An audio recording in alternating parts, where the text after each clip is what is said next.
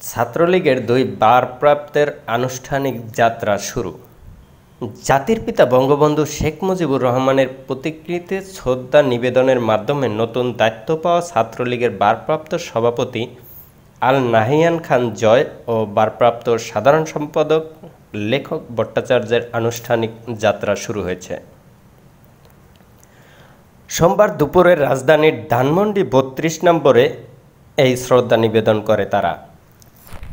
এ সময় ভারপ্রাপ্ত সভাপতি আল নাহিয়ান জয় বলেন, জাতির জনক বঙ্গবন্ধু শেখ মুজিবুর রহমানের প্রতিকৃতিতে শ্রদ্ধা নিবেদনের মাধ্যমে আনুষ্ঠানিকভাবে আমাদের যাত্রা শুরু হয়েছে।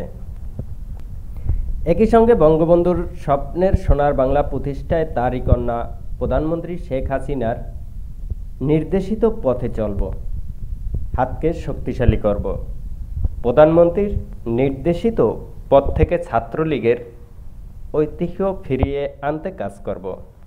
সংগঠনের ভাবমূর্তি পুনরুদ্ধারে আপ্রাণ চেষ্টা করব।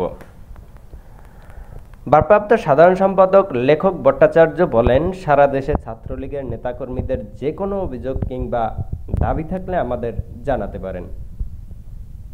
আমাদের কাছে আসতে কোনো লবিং কিংবা মধ্যস্থতা লাগবে না। সংগঠনকে শক্তিশালী করতে নতুন নেতৃত্বের কাজ করবে বলেও জানান তিনি।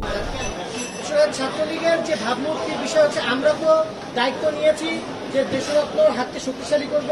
এই যে ভাবমূর্তির যে বিষয়টা, যে ইমেজ ইমেজের বিষয়টা বলতেছেন, এইটা আমরা অবশ্যই এ থেকে উত্তরণ ঘটিয়ে বাংলাদেশ ছাত্রলীগ যে শিক্ষার্থীদের অধিকার আদায়ের যে কাজ করার লক্ষ্যে যে এই ছাত্র সংগঠন হ্যাঁ এই এই শিক্ষার্থীদের কল্যাণের জন্য আমরা আমরা কাজ করে দেব এবং আমরা অচিরে আমাদের যে কোনো ধরনের যদি ইমেজ সংকট হয়ে থাকে এটা আমরা উত্তরণ ঘটাবো বলে আমরা আশা আশা আচ্ছা সুমন রব্বানির হাতে হয়েছে এই কমিটি। আপনারা হঠাৎ করে মাঝপথে দায়িত্বটা পেলেন। এখন তাদের অসহযোগিতা কি আপনাদের এই কমিটি রান করতে কষ্টকর হবে না? না আসলে যেটা মনে করছেন অসহযোগিতা এবং অসহযোগিতা কোনো সুযোগ নাই। আমরা প্রথমে বলছি যে বাংলাদেশ ছাত্রলীগের সর্বোচ্চ অভিভাবক শেখ হাসিনা। তেনার নিজের সিদ্ধান্তে এই এই সুতরাং এখানে তারা এবং বিভিন্ন আপনি গতকালকেও দেখেছেন যে গতকালকে তারা বিভিন্ন মিডিয়াতে যারা বলেছেন যে নেত্রী সিদ্ধান্ত এখানে আমাদের ছাত্রলীগের একটা নির্দিষ্ট আছে, কিন্তু সকল উপরে হাসিনা। এর প্রসঙ্গত, চাঁদাবাজি সহ নানা অনিয়মের অভিযোগে গত চোদ্দ সেপ্টেম্বর রাতে ছাত্রলীগের শীর্ষ পদে থাকা পদ থেকে অপসারণ করা হয় শোভন ও রাব্বানিকে। সিনিয়র সহসভাপতি আল নাহিয়ান জয়কে ভারপ্রাপ্ত সভাপতি এবং সিনিয়র যুগ্ম সাধারণ সম্পাদক, লেখক ভট্টাচার্যকে ভারপ্রাপ্ত সাধারণ সম্পাদক করা হয়েছে।